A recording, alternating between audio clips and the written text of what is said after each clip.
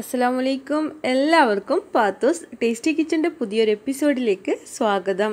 ഞാനിന്ന് തയ്യാറാക്കുന്നത് ഗോതമ്പപ്പൊടിയും നേന്ത്രപ്പഴം വെച്ചിട്ട് നല്ലൊരു നാലുമണി പലഹാരമാണ്.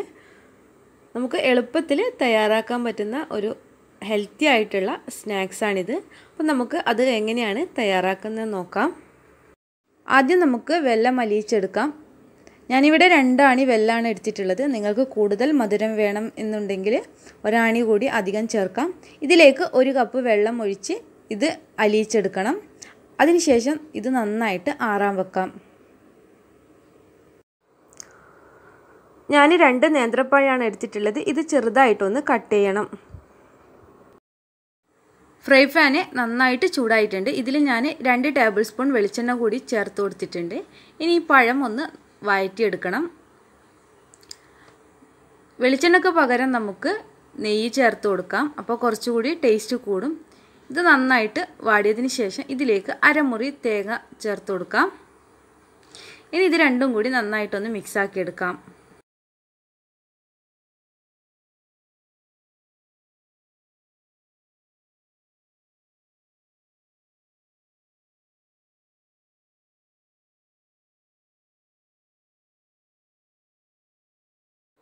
ഇനി നമുക്ക് ഫ്ലെയിം ഓഫ് ചെയ്യാം.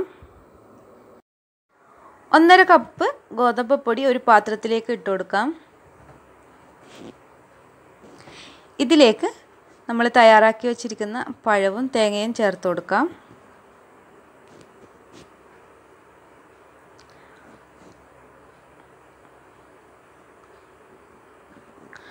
നമ്മൾ തയ്യാറാക്കിയ വെല്ലം ഉരുക്കിയത് തണുത്തിട്ടുണ്ട്. ഇനി അതും ഇതിലേക്ക് അരിച്ച് ചേർത്ത് കൊടുക്കാം.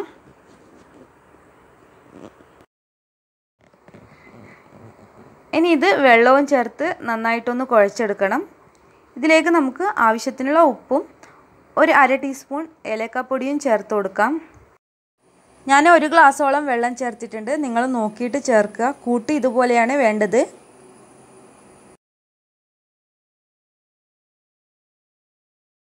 ആവിയിലാണ് ഇത് വേവിച്ചെടുക്കുന്നത്. അതിന് വേണ്ടിയിട്ട് ഞാൻ ഒരു പ്ലേറ്റിൽ നെയ്തടവിയിട്ട് ഈ പാത്രത്തിൽ വെച്ച് കൊടുത്തിട്ടുണ്ട്. ഇനി ഈ കൂട്ട് നമുക്ക് ഇതിലേക്ക് ഒഴിച്ചു കൊടുക്കാം.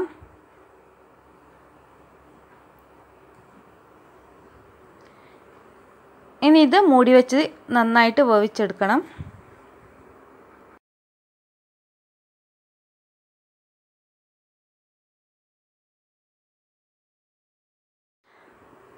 ഇത് നന്നായിട്ട് വെന്ത് കിട്ടിയിട്ടുണ്ട്. ഇനി തണുത്തതിന് ശേഷം കട്ട് ചെയ്ത് ഉപയോഗിക്കാം. അപ്പം വളരെ ഹെൽത്തി ആയിട്ടുള്ളൊരു സ്നാക്സാണിത് എല്ലാവരും ട്രൈ ചെയ്യണം. നിങ്ങൾക്ക് വീഡിയോ ഇഷ്ടമായിട്ടുണ്ടെങ്കിൽ ലൈക്ക് ചെയ്യാനും ഷെയർ ചെയ്യാനും മറക്കരുത്. അതുപോലെ സബ്സ്ക്രൈബും ചെയ്യാം. മറ്റൊരു വീഡിയോയുമായി വീണ്ടും കാണാം. അസ്സാം വലൈക്കും